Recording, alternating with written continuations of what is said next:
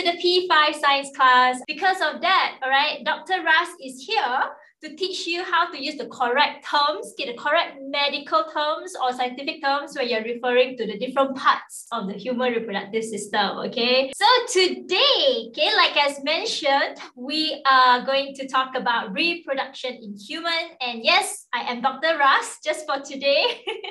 and we're going to look at um, sexual reproduction that occurs between a male and a female, okay?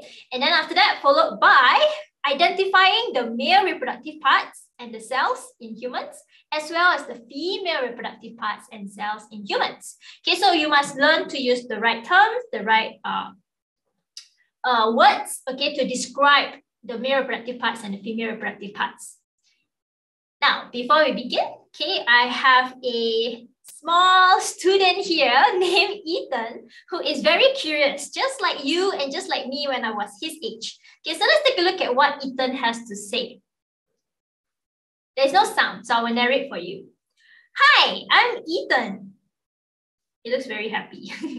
One day, I discovered something amazing in my pet fish tank.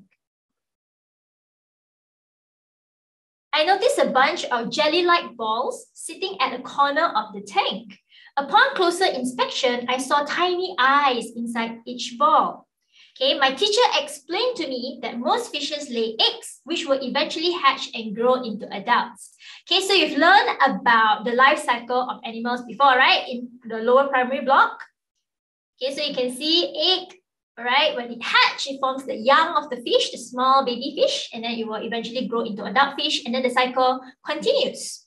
Okay, as long as the fish is able to survive. Okay, so it will continue as long as the fish survives. And then he also talked about plants. Okay, plants having life cycles. However, for plants, they will produce a seed instead of an egg. So he found out about seeds, okay, growing into a young plant, germinating into a young plant, and eventually forming an adult plant. And he, took one step further, okay, by encouraging, as in he's being encouraged, okay, to grow his own uh, seeds at home okay, to germinate them. And what happens is that the seeds actually grew and sprouted. Okay, so he was very, very happy with his experiment. But then, okay, Ethan was still very curious. Okay, although I can understand the concept okay, of life cycle, okay, pretty much. And then um, if fish lay eggs and plants produce seeds, what about humans? So basically, he asked this question, okay, if fish lay eggs and plants produce seeds, what about humans? Okay, so he's looking at his mom and he's like, hmm.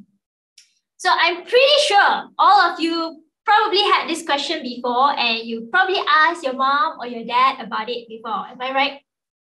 Okay, so yes, he is smiling because he's curious. Okay, as a scientist, everybody have to be curious.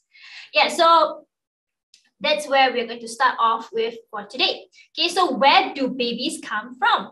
A baby is created when a male and female parent come together so that their reproductive cells can meet.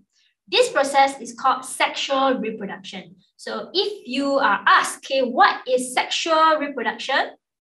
This is the definition or the meaning. Okay, when you have one male parent, one female parent coming together, and then have their reproductive cells meet before we call it sexual reproduction. Okay, so we must always have two parents. This helps to ensure survival and continuity of the human species. So this is the same reasoning behind life cycle of plants, life cycle of animal, okay, life cycle of humans is also to con ensure continuity of our species. Let's move on first. Now, for not all animals have to undergo uh, sexual reproduction. Okay, there are actually some special type of animals who don't okay, need two parents. For example, okay, if you look at the picture on the left, you can see that this is a starfish. Okay, starfish and some other organisms, they undergo asexual reproduction. Asexual means single parent, okay, only involves one parent. So you can see this starfish, one day decided to just break off one of its limbs and the limbs actually can grow into a new tiny starfish and eventually it'll grow into a big one. Yeah, so instead of having to find a male or a female, starfish can just reproduce by itself. Okay, we, of course, humans, we can't do that as well. Okay, you can't just break your finger and then your finger grow into a new you. Okay, it doesn't happen. yes. And then the next uh, method of reproduction, this one is super uh, interesting because I've never seen this before until I went to research. Okay, um, it's called selfing, which is self-fertilization. Okay, so for this particular fish, uh, it's a female fish. Okay, it develops the male reproductive parts to impregnate itself. So one day the fish decided, okay, I want to have new babies. No need to find a, a male. Okay, I'm just going to uh, make my own male reproductive parts and then I'll just uh, self-pregnant. Yeah, so very interesting, right? Selfing. Okay, so it doesn't even need a male counterpart. Okay, so far I've not read up about the male version of this. Okay, so far I only read about the female fish. Maybe they haven't discovered yet if the male can produce male, uh, female reproductive parts. Yeah, so these are the special cases, okay, special cases. So, starting off with our bubble question number one. Living things reproduce so, and then there's a long blank here. Okay, they will continue to survive. Their species will continue to exist. They will have offsprings that look exactly like them, and their offspring will be able to take care of them when they are old. All right, so which one do you think will be the best um, statement? Majority are able to tell me the answer is number two, okay, because the species will continue to exist. But some of you got tricked and put number one. Okay, number one cannot be accepted because it's incomplete. Okay, when they say living things reproduce so they will continue to survive, what are the they referring to, the living things, right? So it can just be like adult stage, right? Or the young stage. Okay, so if it's adult stage, they will continue to live and then after that, they will still die, right? But that doesn't mean their species will continue to exist, correct? So the key word here is this. We want to ensure that even after the adult dies, okay, it still can continue the species by uh, giving birth before that. Okay, so before it dies of old age or something, right, you have to give birth to a young version of themselves. Get it? Okay, so very important to write down the species part. All right, moving on to the next part. Ah, this one is concerning you, okay? Because you are at the age where some of you may be undergoing puberty or some of you may have not started your puberty yet, okay? But you still need to know what you'll be experiencing. Okay, so what is puberty? Puberty, um, okay, so let's see. The human reproductive system need to be fully developed, okay, before sexual reproduction can take place. The development of the reproductive parts occur during puberty. Okay, so puberty is a time in life when a boy or a girl becomes sexually mature. It is a process that usually begins at the ages of 8 to 11 for the girls and 9 to 12 for the boys. Okay, so for females, you undergo puberty usually on average a bit faster than the males. Okay, the males will undergo puberty a bit later. Right, and what happens during puberty is that it causes physical changes and it will affect us differently. Okay, so they give you the age range, 8 to 11, 9 to 12. So every individual will have a different time okay, when they undergo puberty. It has a lot of factors to depend on. Okay, can be because of your genetics, can because of uh, you know, your health. Right, so you don't worry about you know not undergoing puberty uh, within the age range because it's different for everyone. So what is puberty? Okay, it's the development. Is this part? This is the definition. Dr. Russ will tell you, okay, the development of the reproductive parts. Okay, so your reproductive parts or your reproductive system will become mature. Yeah, so maybe some of you are undergoing it, maybe some of you have not, it is fine. Okay, it is fine. Now, what type of physical changes? Okay, if you are undergoing puberty, okay, what will you expect to see? Okay, this is normal for all individuals. Huh? Right, so for the girls, okay, first of all, you will notice that okay, the female organs, for example, the breasts, they will start to develop right? And then uh, growth of pubic hair, which is pubic hair is the hair covering your private parts. Okay, growth spurt means suddenly you will increase in height. Okay, then we also have menstruation or what we call period. Okay, this is not found in males, only in females. Growth of underarm hair Okay, change in body shape. Usually for the females, the hips become wider. Okay, this is to accommodate the size of the baby if the female were to get pregnant in the future. Right? And then, uh, of course, eventually when you reach about the age of 16, 17, you will reach the adult breast size. Whereas for the male will be a bit different. Okay, we do not see growth in the breast. Okay, for male, it will be more of the scrotum and the testis. Okay, later on I will show in the diagram okay, where you can find scrotums and testes. Change in voice. Have you seen this happening before to people that you know or to even yourself? Okay, for the voice, right? Some of you maybe you have experienced the breaking of the voice, right? Previously, you sound very high pitched like me, and then suddenly you you're like, oh hi, my name is uh, Ethan. Your voice become deeper. Yeah, so yeah, for boys it's very common. Girls, of, of course, will your voice will become a little bit deeper, but not as much as boys. Okay, it's not as noticeable as boys. Yeah, and then uh, the penis will grow. Uh, uh, growth of pubic hair. This is common for both uh, girls and boys. Uh. So you have hair covering your private parts. This is normal. Okay, growth spurt, right? Again, you'll grow like tall, like suddenly, like really fast. And then change in body shape. Uh, so for the males, you develop more muscles. Okay, because biologically, males are meant to, to be more, you know, muscular and stronger. Right. And then, uh, of course, growth of underarm and more noticeable facial hair. Okay, so for females, we do have facial hair, but it's not as thick or as coarse as the male's facial hair. So we, we don't really tend to grow like beard or mustache, okay, like for the boys. Yes. Okay, so any questions so far? All right, what is menstruation is known as period. I'll talk more about that in the next slide.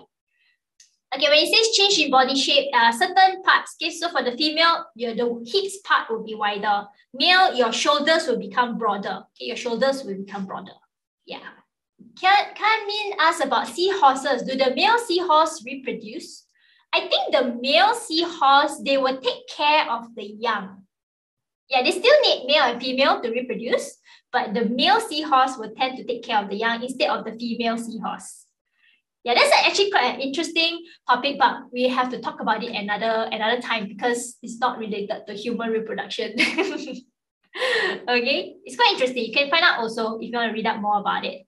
Now, the question about menstruation. Okay, so what is it, right? So for all females, healthy females will have to undergo this. Okay, we call it the menstrual cycle when you reach puberty, okay? So it is an event, sequence of events that occurs when the female body prepares itself for the possibility of pregnancy, all right? And if, let's say, the female is not pregnant, okay, she will undergo menstruation, which is the bleeding, okay? Bleeding from the reproductive part, which can last from two to seven days.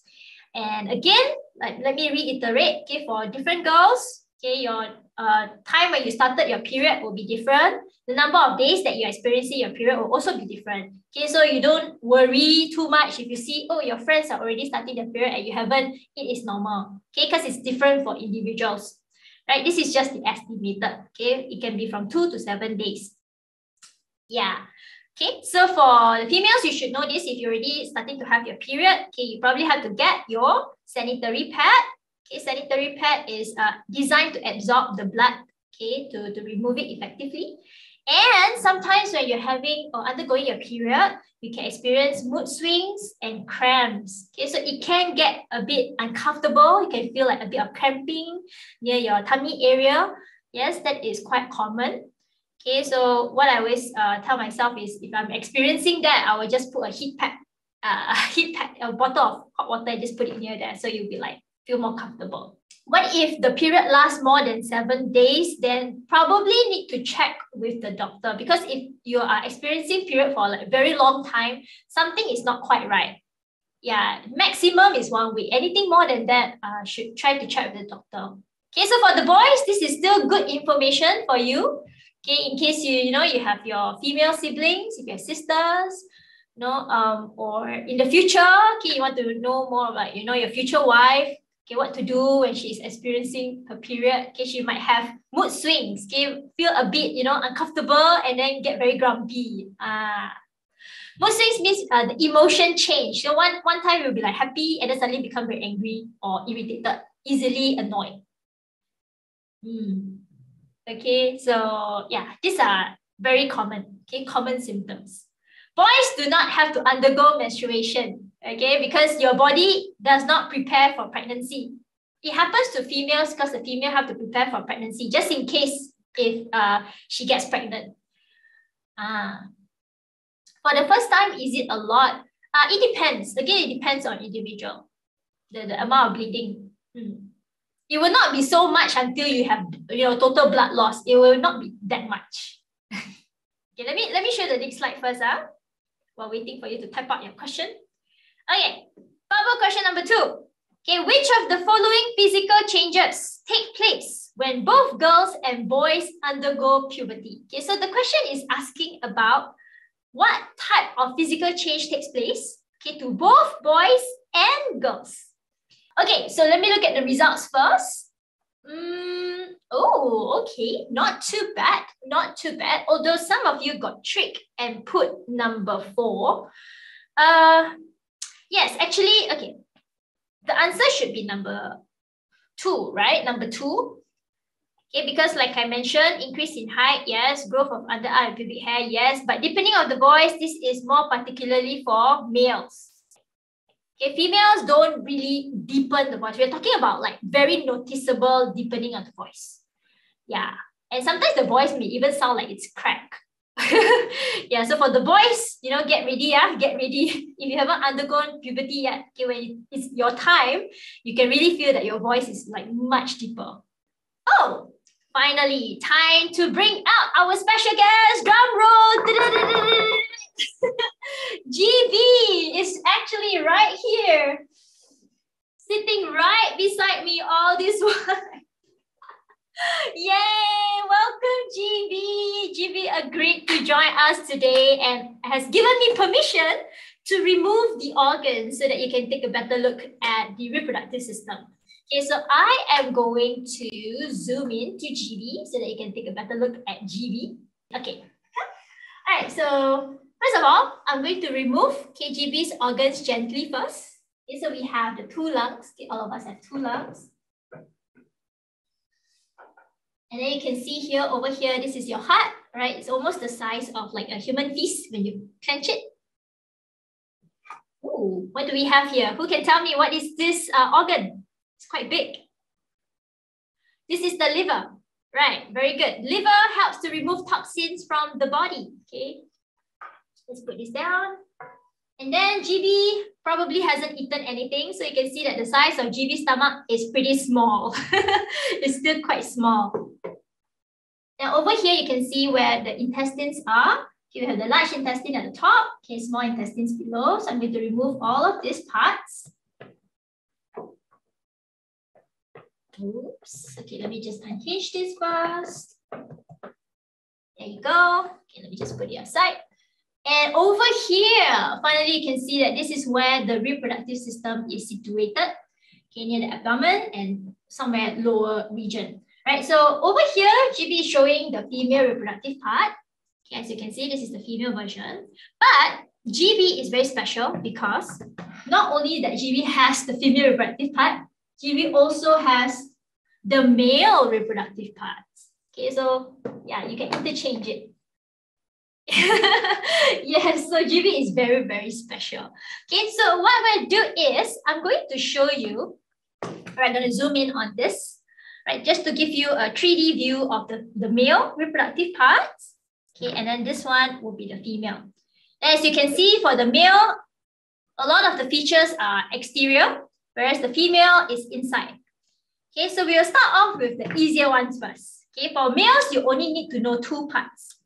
Right, so I'm going to use my pen here to sort of show to you, okay, which parts you need to know for your exams. All right, so this part here, okay, this will be the penis. All right, and on left and right, okay, this circular structure here, this is the scrotum. Okay, it's like a skin. And inside the scrotum will be the testis right? So testis is where the reproductive cells are formed. Okay, so let me just get this uh, apart okay, to show you what's inside. Okay. Right, so this is the cross section of the male reproductive parts. Okay, cross section. So this is the front view. This is the side view. As you can see, this top part over here, okay, this circular structure here, this is the bladder where the urine is formed and stored. Okay, and when you feel like passing your urine out, okay, will go through out from the penis. This circular structure here will be where the testis is, okay, where the reproductive cells are formed. And it will also come out okay, through the same exit, which is through the penis. Okay, so you only need to learn two things, the penis and the testis for the male reproductive parts. All right? Yes. okay, so now take out your notebook. I'm going to show you um, the notes section. So I need you to copy down certain things. I will share back the screen with you. Just give me one second. there is nothing to be disgusted about. This is natural. Okay, all males would have these parts. And if you don't have it, then that will be unnatural. Ah, okay, so it's natural, right? Don't feel disgusted. Okay, so we have the testis. Um, take note of the spelling. Testis is referring to one, okay, one part, whereas testes, also pronounced similar, but with the letter E, is, re uh, is referring to two of them, okay, the two parts. All right, so this is where the male reproductive cell or the sperm cell. Okay, so if you don't want to spell out the whole term male reproductive cell, you can just use sperm or sperm cell. And the penis is the organ that releases the sperms during sexual intercourse. Yeah. Okay, so Ayush asked, is GB male or female? I would say that GB is neither. Okay, GB is very special. it does not identify as, as a male or female. So take note, only the testis and the penis, okay, for the male parts. For female, it's going to get a bit more complicated. Okay, reason being is because you also need to talk about the parts where the baby develops. Okay, so, right, so here we have, okay, this is the front view. Right, and then we're going to look at the back view first. You see that? Right, so you can see that there's this little like two red structure here. Okay, on each side, that will be the ovaries. And in the center, this circular structure is actually the womb. Okay, you can't really tell until I take off this part. Okay, so I'm going to take this off. Ah, can you see that? Look at that. So cute. What is this? Is this an egg? It's too big to be an egg. What is this? Who can tell me? It's a baby, yes, or what we call a fetus. It hasn't developed fully into a baby yet. Um, this is the actual size of a fetus when it is about 10 to 11 weeks. Okay, so when mothers are pregnant for 10 to 11 weeks, this is the size of the baby or the fetus. And we all used to be this size. Very cute. it's very small. All right, so this part here is the womb. Okay, this is the womb. So you will, you will be like enlarged okay, when the baby is like growing bigger. Okay, because the womb is muscular, so it can actually stretch. Mm. All right, so I'm going to again remove these two parts so that we can see what's the inside on the female reproductive part. Okay, so you look at the female one. Ah, a lot more features, right? A lot more details. Okay, so I'm going to point out to you, right? So for the female, okay, there's actually three openings. Okay, opening number one, opening number two, okay, and then opening number three. Okay, so there's one here at the top, one here, and one over here. Okay, so this opening over here, right, this is actually the anus. This long stretch here is the rectum, okay, where the feces or the waste product is temporarily stored. Then the vagina is actually up here. Okay, the second hole here, right? And it will lead to the womb. Okay, this is the womb. So originally, okay, my little fetus here should have been sitting right here at the womb here, okay? And then on top, right, slightly above here, this will be the opening to the bladder, where the urine is temporarily stored. Right, so you have three openings. And this is very important because now you know, okay, that when the baby is born, it will go out through the vagina, okay, and not through the, the opening that is leading to the urine or the opening that is leading to the feces. Okay, so it's not mixed together. Okay, it's a different opening altogether. Ah, yes, I'm a doctor. Of course, I know a lot about these things. Why is the female bladder so small but the male bladder is bigger? Hmm, good question. Does that mean that girls have to go to the toilet more frequently than males? Could be, possible, right? Possible. Some of you need to go to use the toilet. Okay, sure, sure, sure. You can go, but hurry up back. Okay, so I am going to return back to my main screen. Okay, return back to my main screen. Right, so the first part, okay, that I mentioned, the first part, which is a circular structure, it's called the ovary. Okay, it is called the ovary. And if there's more than one, okay, there are two in a female, so it will be called ovaries, where the female reproductive cell or the egg cell is formed. Okay, so just now in the male reproductive system, it will be called the testis, right? Testis form the sperm cells, whereas for females, they form the egg cell in the ovary. Okay, just like in plant reproductive system, right? You have the egg inside the ovule. Ah, okay, so this is where the eggs are formed, right? So after reaching puberty, the ovary will release one egg cell every month. Okay, just one. Sometimes maybe two, and that's how you get twins. Okay, somebody asked, how are babies formed? All right, so for the formation of the fetus and baby, we will actually cover this in a lot of detail next lesson, okay, which is next week after Chinese New Year. So I will save your question for next week. Yes, and also there's a cord on the belly button that will be covered again next week. Triplets, twins. Hmm, good question, right? Think about it. Right, so then uh, just now you said babies are born through the stomach. No, uh, it's not the stomach. It's supposed to be the womb. If you want to be more scientific, you can use the term uterus. Okay, it's where the fetus or the young baby develops during pregnancy. Okay, so this image over here, this is actually the egg. This whole thing, this is the egg.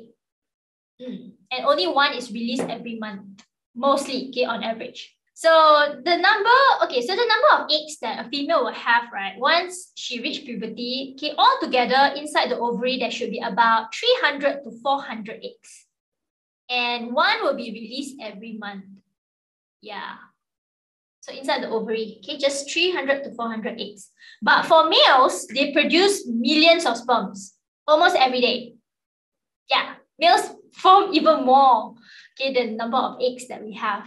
All right, so we'll talk more about the formation of the baby, the fetus. Okay, we'll talk more about twins, triplets in the next lesson. Okay, this lesson we will just focus on the reproductive parts first, as well as the cells. Okay, moving on. Still have two more parts. Okay, we have the fallopian tube. Okay, this tube over here, this part over here. Okay, take note in exams, you are not expected to know the name, as in you're not expected to label using the word fallopian but they will still need you to know that this is where the sperm and the egg cells meet during fertilization. Okay, so the sperms will make itself, okay, from here, it will go up and then the egg will be released from the ovary. And when they meet, okay, they will be meeting at the fallopian tube. Okay, so you just try to recall for plants, okay, remember the pollen grains, grows the pollen tube and then will go down all the way to the ovary before it reaches the ovules. Okay, same process here, but for the sperm cell, it can actually swim up. It has a tail and it can swim, right? And then for the uh, last part here, this is what we call the vagina. Okay, the vagina. This is where the sperms are deposited during sexual intercourse or during mating. Okay, so the layman's term they use this is sex, but in exams, we don't just use the word sex, we use sexual intercourse. Okay, we use the proper term. Hmm. Okay. Ready for the third bubble question. Okay, study the picture of the human reproductive system below. Okay, so we have the female one on the left and the male one on the right. Which of the following shows the functions of the systems above? So where is the female sex cell produced and where is the male sex cell produced? Okay, giving you a clue, female sex cell is also referring to the egg cell, okay, the egg, and then the male sex cell is the sperm. So where are they produced. All right, let me take a look at the results first. Oh, not too bad. Improvement from the previous question. Majority of you are able to tell me that the egg cell is found in A. Okay, what is A again? Which part is this called? Who can tell me what is A referring to? Ovary, yeah, with one ovary without the IES. Okay, how do you spell it? Is it with the E or with an I? Olivia said testis with an I. Very good. Because it's only referring to one. Okay, so you have to be very careful with the terms you use. Is it singular or is it plural? Okay, B is the womb, C is the vagina, and then D is of course the penis, right? The sperm is not being formed there. It's actually uh, goes out from the penis. All right, bubble question number four. Study the diagram of the human reproductive system below. Which of the following statement is not correct? So incorrect, okay, wrong statement. Let's read this together. Fertilization occurs inside the body of system X. Okay. Fertilization does not occur in the structure labeled A in system X. Sperms are deposited in B and will swim towards the egg for fertilization. So B and then swim towards the egg, okay. The sex cells produced by system X are different from those produced in system Y. So which statement is incorrect? Hmm, what kind of clues can I give you? All right, just look at where they are labeling.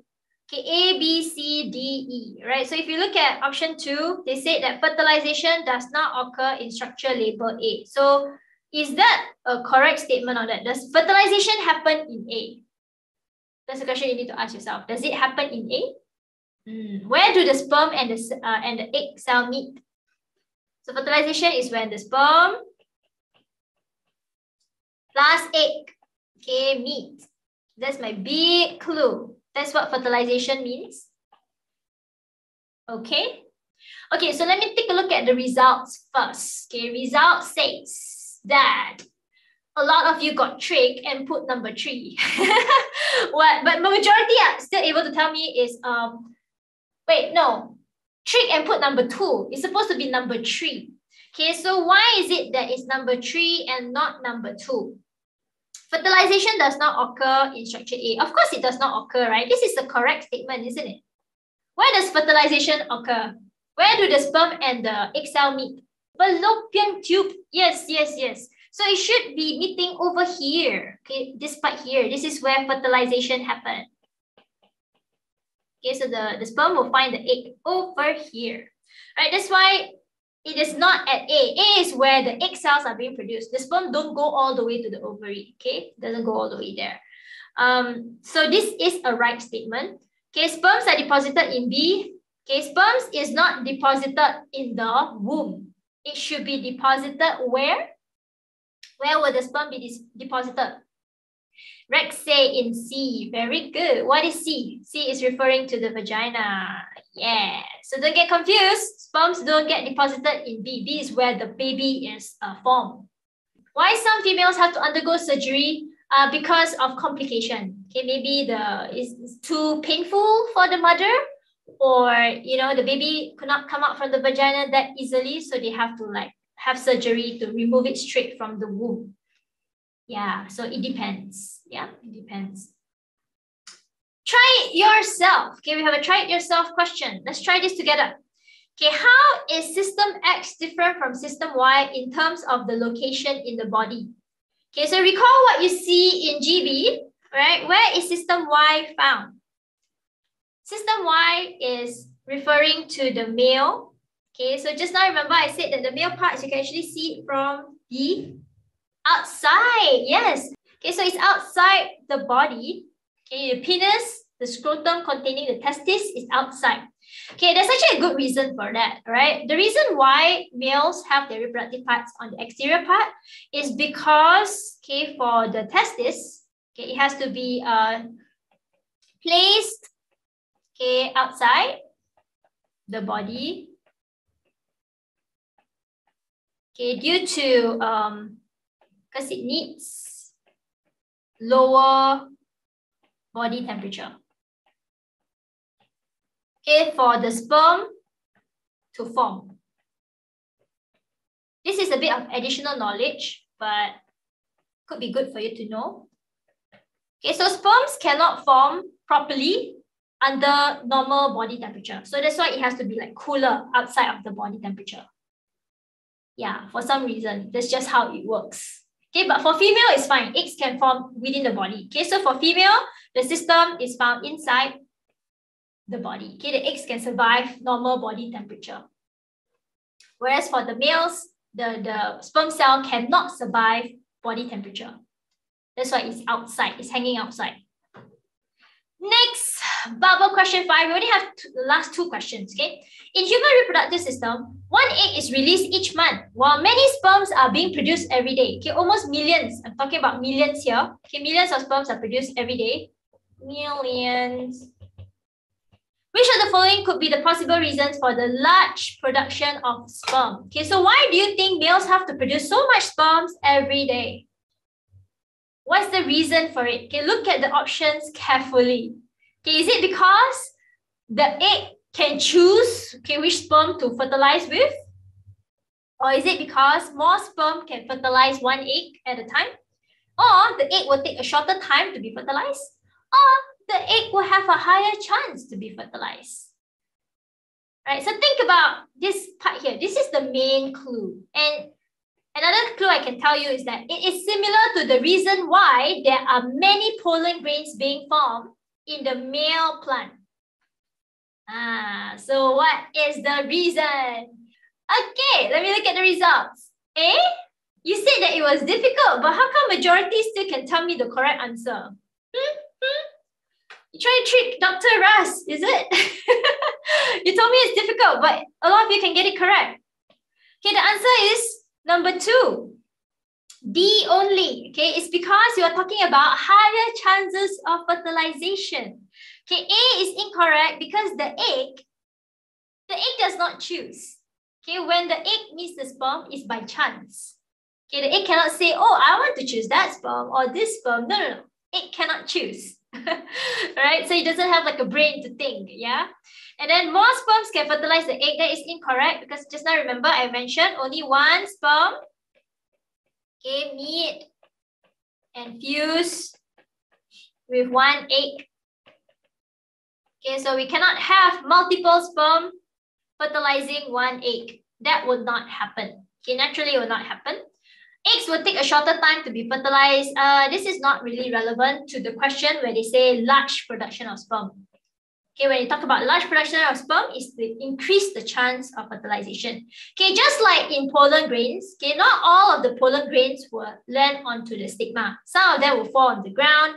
Some of them will be still stuck on the pollinator's body. Okay, same goes for the sperm cells. Okay, some of them may die in the process of trying to reach the egg. Yeah, so not all of them will be able to reach the egg. So to increase the chances of it, you have to produce like millions of them in the first place. Yeah, sperms are like fishes, a little bit because they have the tail and then they can swim. So the strongest and the healthiest, I guess the healthiest and strong sperm will be eventually meeting the egg and surviving and not dying along the way. Yes, we do have one more bubble question. Okay, one more. This will be the last one. And this is an application question. Okay, so you have to think, right? Due to an unfortunate accident, one of the man's testes is permanently damaged. Oh dear. So you have two testes. Okay, one of them is permanently damaged. Will this person still have a chance to reproduce? If no, explain your answer. If yes, explain your answer. Huh. So think about it. All right, let me see. Where's the female? Eh, where's the male reproductive parts over here? Let me put them together again. Just to show you, right? So for the male reproductive parts, okay, it has uh, two testes, right? So imagine this is the male reproductive part. Okay, and then you have two testes, and one of them is permanently damaged. So what's going to happen? Clue. Okay, clue. Think about the function of the testes, okay, you have two of these, right? Each of them, okay, each produce sperms, right? So if one of them is damaged, okay, what will happen? It's okay, our Dr. Russ will help to explain. Oh, yay. Give yourself a round of applause. Yay. 90% of you get it correct. Okay, so you're able to tell me that it is option number four. Okay, so even if one of the testes is spoiled or damaged, the other testis is still around and it's still able to produce sperm cells needed for fertilization. All right, so that's why it is not too bad. Okay, you still have two. If anything happens to one, the other one can still produce, uh, perform its function. But if both are damaged, then that's it. The male will not be able to reproduce in the future. Yeah, why not number three? Okay, penis is not damaged and is still able to release sperm cell, but we are talking about the testis, not the penis. Yeah, so it's kind of like not directly answering the question. Mm -hmm. It's okay. If, if you have questions about it, it's fine. Because like I said, it's a learning experience for everyone. yes, the clue was kind of big. All right, so we've come to the final slide for today's lesson. Okay, so far we've learned about what is sexual reproduction. Basically, a male and female parent comes together, and then the female and male reproductive cells meet, okay, the sperm cell and the egg cell. right, meet, and then we have uh, fertilization taking place. Okay, then we've learned about the different parts. Okay, for the males, we only need to know two, okay, testes and penis. And then for female, there are four parts. Okay, your ovary, fallopian tube, you don't need to know the name, but you need to know where it is situated and where is the function. Okay, and then the womb or the uterus, and finally the vagina. Okay, so I will promise you, uh, next lesson, we'll talk more about how the sperm cell actually swim up to meet the egg cell. Okay, we're going to look into that. We're also going to talk about the formation of the fetus. Okay, so that will be in the subsequent lessons. Bye. Take care.